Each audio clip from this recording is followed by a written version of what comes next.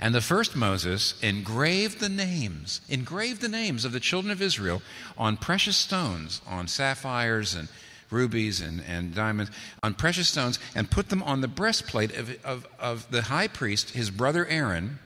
So his brother Aaron, when he was ministering in the tabernacle, had the names of the children of Israel engraved over his heart. But the ultimate Moses, Jesus Christ, is the high priest. And he stands before the Father if you believe in him. And we're told that everything in the Old Testament about the tabernacle and the temple all is a kind of copy of what's happening in the heavenly places.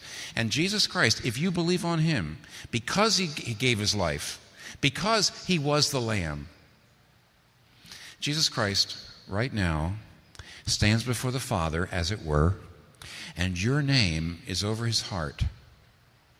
And when the Father looks at your name, he sees a diamond, he sees a ruby, he sees an absolute beauty. Because Jesus Christ was the ultimate Moses who gave his life, didn't just risk his life, who shed his blood, didn't just shed the lamb's blood. You can absolutely know that right now your names are written in heaven if you believe in him.